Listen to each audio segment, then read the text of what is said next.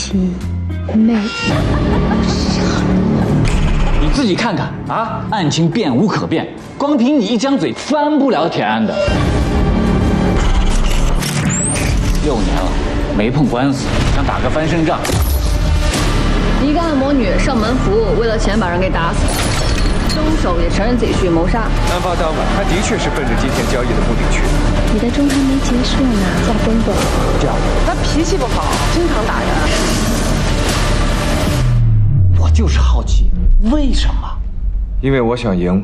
春雨使者，谁还当谁用就当着吧。为了赢啊，还是要上点手段的。现在开庭。一修栈道，难渡陈仓，难管家。不能因为庭上的胜负丢弃了良知。他为什么但求一死？他为什么连一个申辩的机会都不留给自己？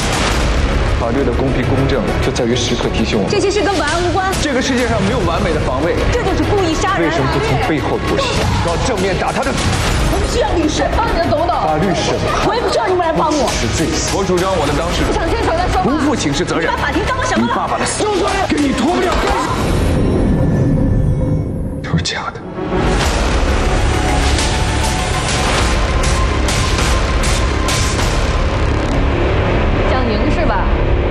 你想疯了。你想好怎么收场了吗？进监狱等死吧。